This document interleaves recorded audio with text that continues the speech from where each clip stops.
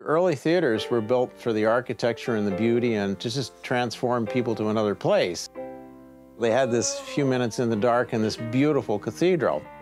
Today, it's just like advertising, plastic seats, and crap.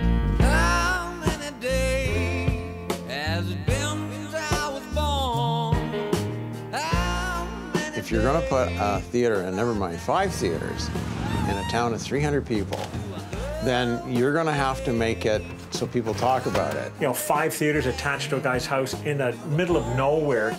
You sort of wonder, what is this place? Who would build something this stupid? When we came, we thought it would be probably something with like a bed sheet on the wall in his garage.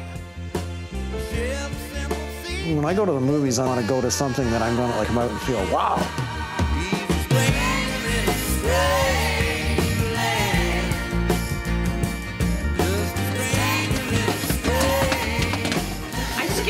To have popcorn.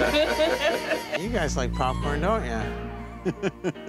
it costs me $75 a week to feed the bear. If you don't give him food, he's in here flipping garbage bills.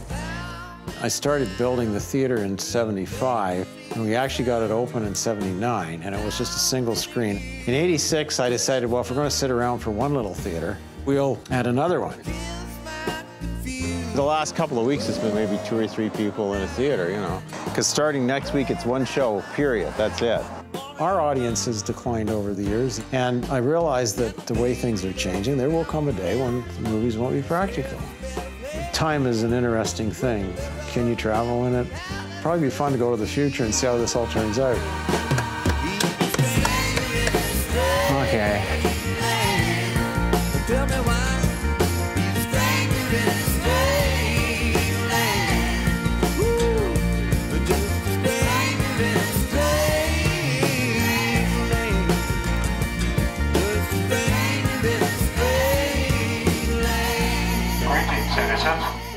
It's very strange. it's, yeah, it's a strange spot. What the future holds for that place, I, I don't know. Figure something out.